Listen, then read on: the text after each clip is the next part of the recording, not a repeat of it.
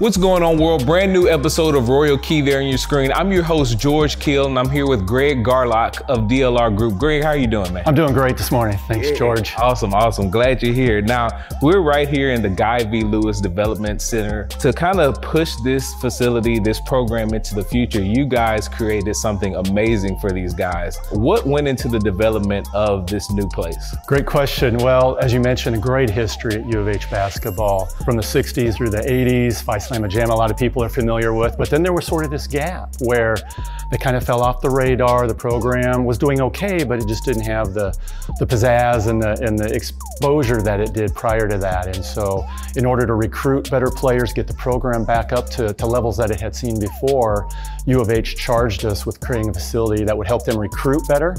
And then once I got those recruits on campus, really allow them to develop into fantastic basketball players and, and hopefully lead to the new generation, new chapter of success for U of H basketball. When a recruit walks in here and sees the history compared to what they did in the past, what do you think is the first thing that they notice? Well, I think the first thing they hopefully notice is, wow, this place takes basketball really seriously. Brings me as a student athlete on campus, but gives me all the tools to, to maximize my abilities. And so we hope after this initial wow, and they start taking their tour through the rest of the venue, they start to understand all of the tools that are available to them to become the best basketball players that they possibly can be. The outside of this building was an opportunity to create a new language, a new excitement for the program. We wanted to create a very dynamic piece that would get people excited, interact with campus next door. You'll see lots of glass. We put the public spaces forward facing. People can walk by.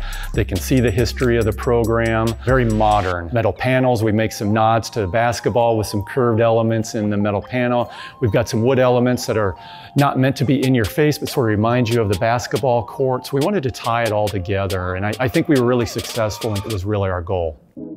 So, Greg, we're in the sports development area. Over the years, taking care of an athlete has changed a lot. What was in mind for you guys creating this area? Great question. It was really twofold. First, part of recruiting, as we know, that's the foundation of any great program. So when a recruit's coming through with their parent or guardian, that parent or guardian wants to know that it's not just about the flashy stuff, but that their student athlete's going to be taken care of off the court as well as on the court. We want student athletes to come into this space, take advantage of what's here, take care of their bodies. And so it's located such that it's very easy for both the men's and women's programs to access it several times a day. They're here before practice for treatment if they have an injury, they're getting their ankles taped, and then certainly after practice they come in with hydrotherapy or any other sort of nagging injuries. This space allows them to do all of that so that they can maintain peak physical condition. Okay, Greg, what was the thought process in creating this, showcasing a blast from the past, but also showcasing some of the new as far as the banners being hung?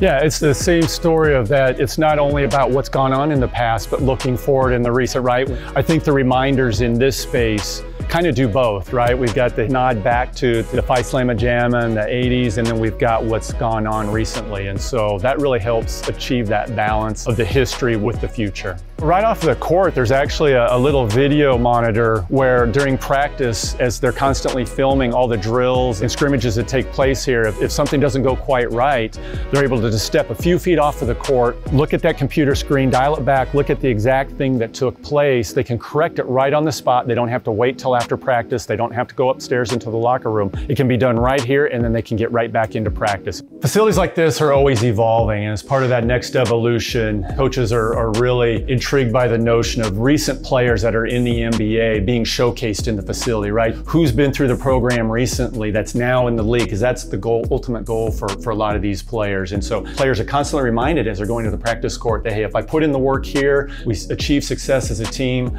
my goals of being in the NBA, just like these guys, can be achieved as well. Okay, Greg, every recruit needs a, a wow factor. This is the wow factor for the U of H men's basketball program. Really important part of a project like this because this really becomes a player sanctuary. And as you mentioned, this entire level is dedicated to the student athletes only. And so the first thing that happens when they walk into their locker room is there's this inspirational moment here that sort of reminds everybody that, that it takes hard work to become a champion and to be the best student athlete that you can be. Maybe they haven't had breakfast yet or, or it's, it's before practice and they need to fuel up So our fueling station is right next to the entry.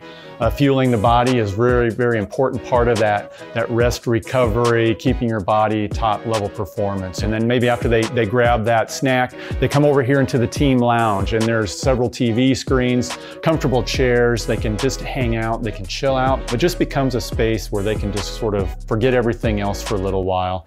Then kind of leaving out of this lax space, right? You go into the team locker room. Obviously, this is a really important space during the recruiting process as well. It's a lot about theatrics. It's about putting the University of Houston basketball program in the best light. And so lights can be turned down, certain elements can be turned up, the medallion in the ceiling, the logo in the floor.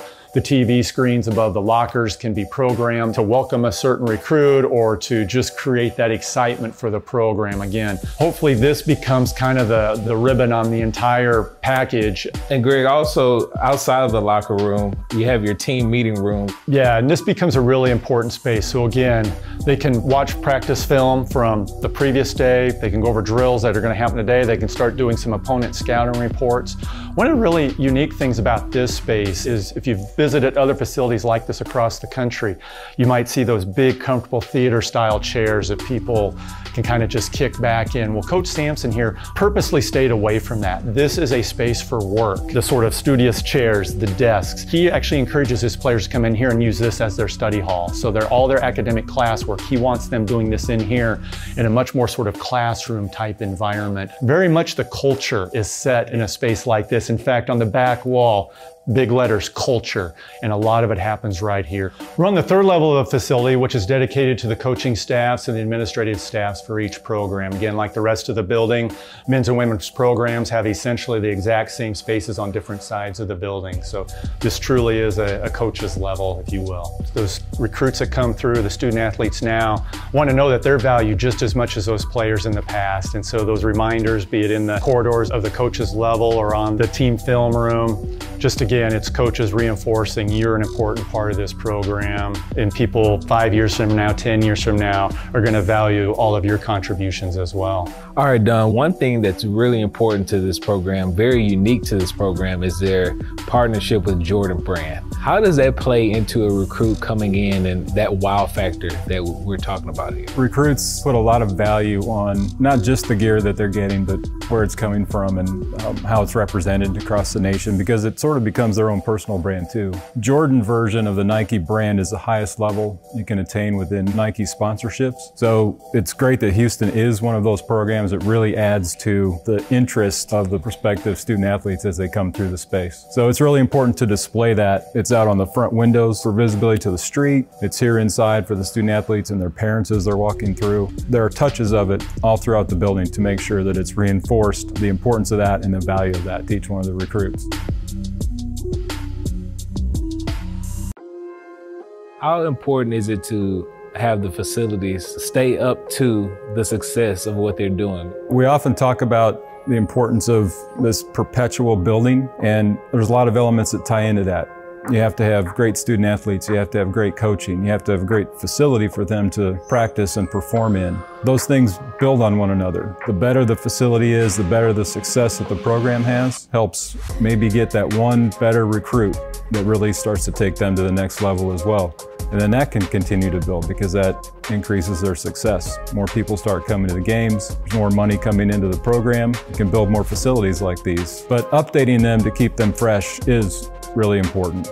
1983 Houston Cougars Phi Slama Jama does not resonate with the 16, 17 year olds. So they really need to sell what this program is doing now. They're sending players to the NBA. This program is a catalyst to success for those recruits. Okay, Coach Sampson, you've been at, at stops where facilities matter, right? Big 10, uh, Big 12, and now you're here and you're bringing that facilities matter approach here. Why do facilities matter so much? We live in a fertile big time area, great recruiting area. When we got here, they needed a vision. They needed something to latch on to to figure out how do we get from here to here to here. Probably within 20 minutes after the press conference, this was in 2014, we talked about when are we gonna start construction? Not if, when. When is that construction fence coming in? When are those machinery coming in? When is that dirt being dug? What does the design look like? Is it going to be one floor, two floors, three floors? How much room do we have? Hunter was really the one that got it off the ground. We're taking this place from being a mid to lower level conference USA mentality to a championship mentality. And the number one thing we did was when those kids came on campus, they walk into the Guy V. Lewis Development Center, it said, basketball is important here. And here's what I want to say about our administration, starting with President Khator and Chris Pezman, all the way down to the former athletic directors and Tillman Fertitta. I've asked for a ton. They've never said no, because everything I asked for was for this program. You know, and the fact that, that we're coming off uh, four consecutive years of being ranked, four consecutive years of NCAA tournament, Sweet 16s, Final Fours, doesn't happen without this facility. Is this the reason why we're winning? Of course not. The reason we're winning is we get good players. But how do you get those players? There's got to be a wow factor, man.